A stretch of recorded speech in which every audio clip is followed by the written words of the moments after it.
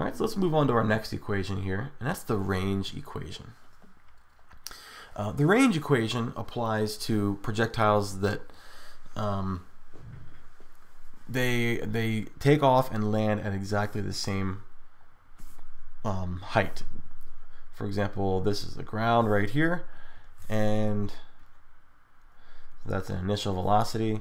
It goes up and then comes back down. Yeah, not very good. Comes back down at exactly the same height or, or, or the same level. And what the range tells us is how far downrange, that's our range right there. How far downrange will it go? If you know the initial velocity and if you know theta. Okay, we can see here that it's proportional to the square of the initial velocity. It's directly proportional to the initial velocity squared. And we, we can say that it's inversely proportional to gravity. So that means as gravity increases, or if gravity, the acceleration of gravity were to get greater, you'd have less range. Like if you went to a planet where gravity was greater, then you'd have less range. If you went to a planet like say, or a, um, a moon, like the moon, where gravity is one-sixth of ours, that means you should be able to kick or throw something six times further than you would here on Earth. So that's the range equation.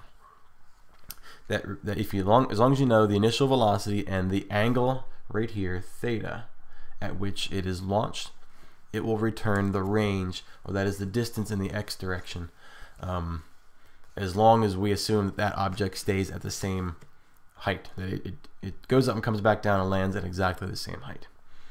That's the range equation. Um, here's a great Angry Birds um, application. If you want to find the maximum range, well, the maximum range occurs when the sine of 2 theta is a maximum.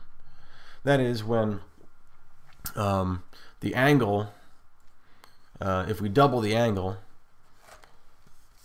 um, it, it, the sine of that equals 1. And, and we all know, I think we all kind of know in our heads, that that angle is 45. 45 degrees. If you have uh, an, an angle lower than 45, like for example right here, 30 degrees, in fact, I should write that in purple because it's purple. Um, there we go. Okay, so that's less than 45 degrees. It's not going to get very high, and it won't. It doesn't have enough. Um, you might say lift under it or air under it to get downrange very far. Similarly, if we have too high of an angle, like this guy right here, that's way greater than 45 degrees, you're going to get a lot of height, but there's not a whole lot of an x component to get it down range, and so it's going to come down um, uh, short of uh, the the short of well, what am I trying to say here? The maximum range you could possibly get. But 45 degrees, this guy right in the middle. This has basically the same x component and the same y component. And so it'll give you the maximum um, height to distance ratio. It'll basically give you the maximum range. Range max occurs at 45 degrees. One thing that should be pointed out though here is um, I'm not sure if you can uh, if you can still read this, change back to black, is that complementary launch angles give you the same range. Again, this is assuming we're talking about the same level. You, you go up and come back down at the same the same level. But what we mean by complementary is that they add up to um, 90 degrees. So this right, right here, this is actually 30 degrees, right? And this big one right here, this is 60 degrees. They're well, we can say they're complementary. They're 30 degrees is the same distance off the x-axis as 60 degrees is off the y-axis right here. What they will do is they give you the same range. You can see that um, the 30 goes up at kind of a um, you know kind of a weak angle and comes back down right here and uh, 60 goes up at a really sharp angle but comes back down at exactly the same point they will return you the same range um, whereas 45 degrees will give you the um, uh, it'll give you the maximum range. And these angles here apply to any complementary or all complementary angles. Complementary. Complementary angles. so an angle of one degree, okay, really, really weak will get you like right there, not very far. Well, the complementary angle of one degree is 89 degrees. And so that object would shoot straight way up in the air and come basically right back down. Sorry, that wasn't drawn very well. Uh, come straight back down and land exactly where the one degree um, angle was. And this is true of all other complementary angles as well. So if the two angles can add up to 90 degrees, they're complementary and have the same range. This next slide right here is not, we're not going to worry about too much, but it points out that um, it's a good thing that we in class assume no air resistance. Because once you start dealing with air resistance, your range kind of gets messed up a little bit. Range equation is valid only when you're not dealing with air resistance. Air resistance resists or kind of acts against the direction of the motion of the, uh, the projectile, and it kind of cuts its range a little bit short.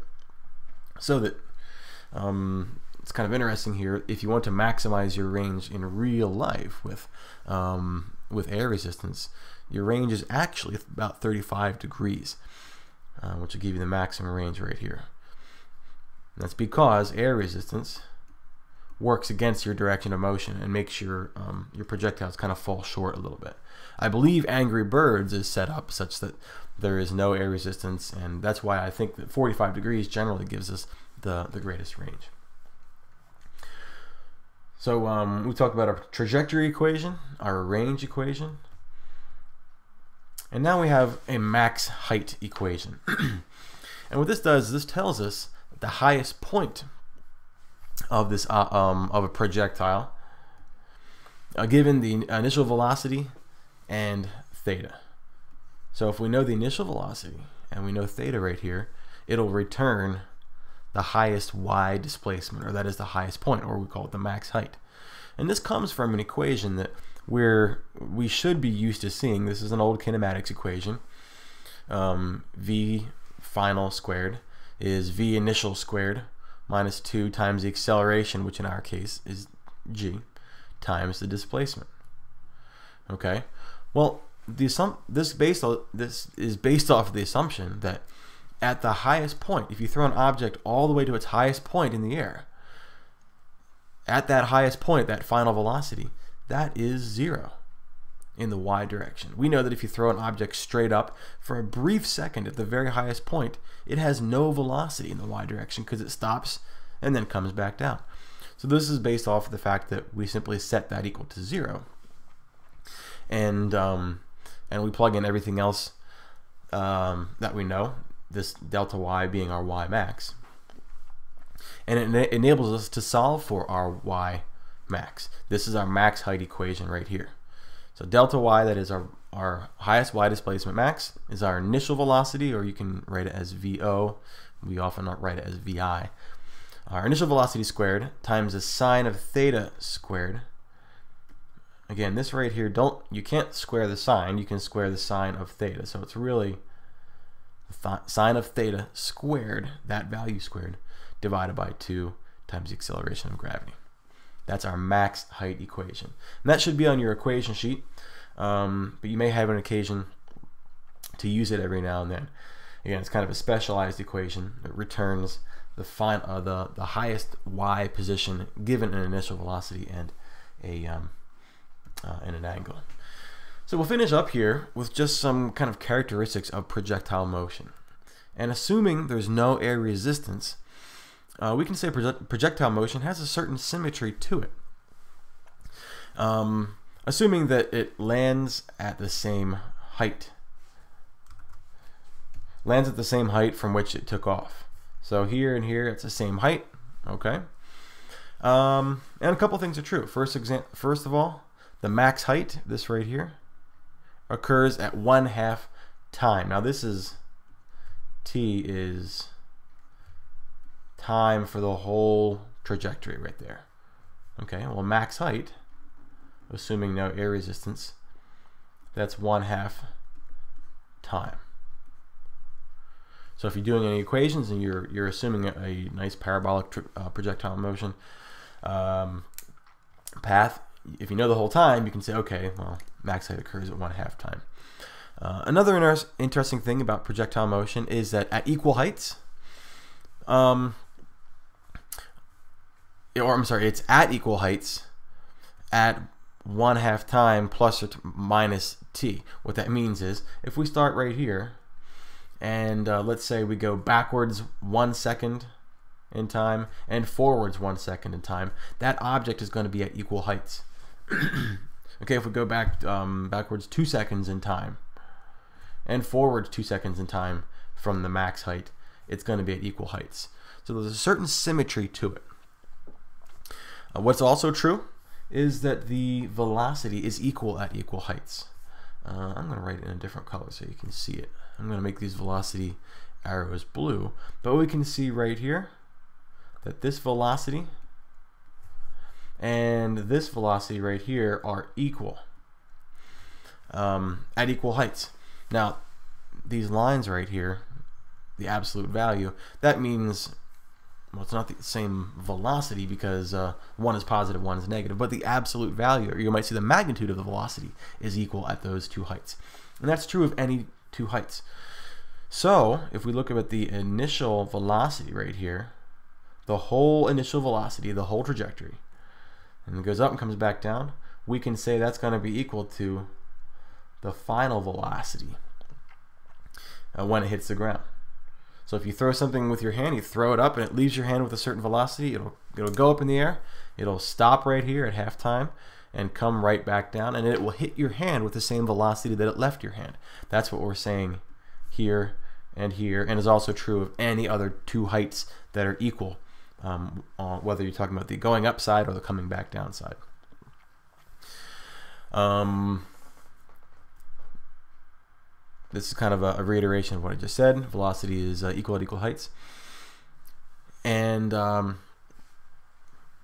the last little thing about uh, the symmetry of projectile motion is that the angle um, above the horizontal is going to be the same uh, below the horizontal on the other side. Here's what I mean, and I'll, uh, I'll highlight this in, uh, I'll go with like an orange. Okay, so this angle right here, this theta above the horizontal, this velocity has some angle right there. That's kind of messy. That angle. All right. Um, if we go to the exact same height directly across from there, not only is the velocity going to be the same but in the negative direction, but that angle is going to be the exact same angle just below the horizontal. Okay? So again, there's a certain symmetry to projectile motion, assuming that we're talking about no air resistance. So these are all things that can help you uh, solve problems and, and find patterns. You can certainly do it the long way. We know plenty of equations to do it the long way, but hopefully these equations and this uh, little kind of symmetry lesson here on projectile motion can help us see patterns and identify um, truths about projectile motion that will help us make problems a little bit shorter. So uh, that's it for this part equations and symmetry of projectile motion. And um, look forward to working on you, uh, working on these problems with you in class. I'll see you then.